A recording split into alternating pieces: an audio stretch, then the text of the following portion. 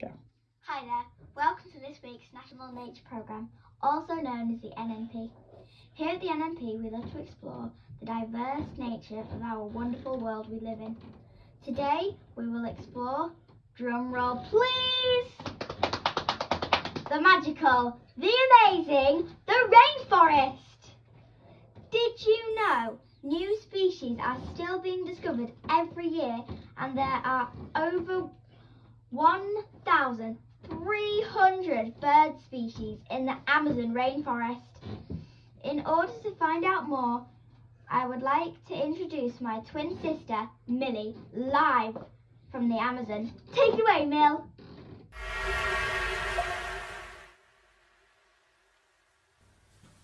Greetings from the Amazon rainforest. I can't wait to wait for you to meet my friends. First up, we have Oliver the orangutan. Hi there, I don't know if you know me, but I am a special red-haired ape called an orangutan. I can weigh up to 100 kilograms. And some males can stretch their arms up to 2 meters. Did you know I sleep in a nest high off the ground so that enemies such as leopards and big cats can't get me? Googly moogly. Their nest must be bit- bigger than the bird's nest. Next up, we have Harry the harpy eagle. Oh, must you disturb me? Oh, very well then. You want me to talk about myself, eh? It is my favorite subject, after all. I am a harpy eagle. I am the largest and most powerful raptor in the rainforest.